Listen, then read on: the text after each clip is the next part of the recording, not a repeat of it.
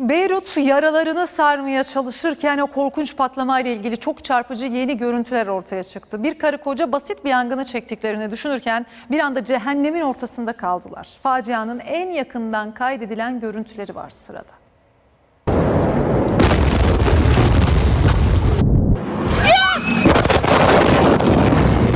Dumanları görünce önce küçük bir yangın sandılar ancak ard arda gelen iki büyük patlamayla cehennemin ortasında kaldılar.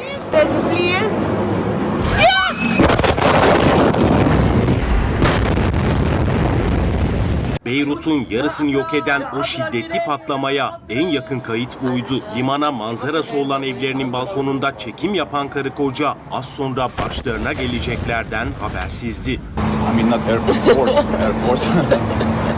Kahkahalı sohbetlerinin yerini dakikalar sonra çığlıklar aldı. Panikleyen kadın çekimi yapan eşine içeri gir diye yalvarmaya başladı. Food ya Ama artık çok geçti. Patlamayla birlikte alev kapanında kalan çift iddiaya göre ağır yaralandı.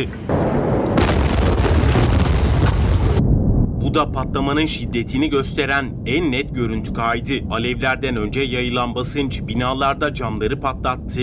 Cam kırıklarıyla dolu toz bulutu saniyeler içinde tüm Beyrut'u sardı.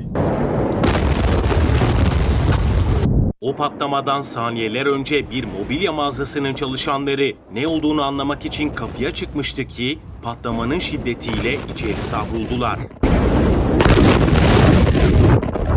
154 kişinin hayatını kaybettiği, 5000'e yakın kişinin yaralandığı o facianın ardından yüzlerce Lübnanlı patlamada hükümetin ihmali var dediği meclis binasına yürüdü. Bölgede etten duvar ören polisi taş yağmuruna tuttu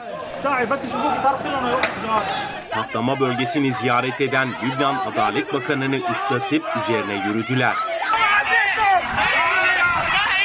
O protestolar başlamadan saatler önce Fransa Cumhurbaşkanı Emmanuel Macron facia bölgesinde şov peşindeydi. Arama kurtarma çalışmalarını aldırmadan hasarlı binaların ortasında dolaştı, gövde gösterisi yaptı.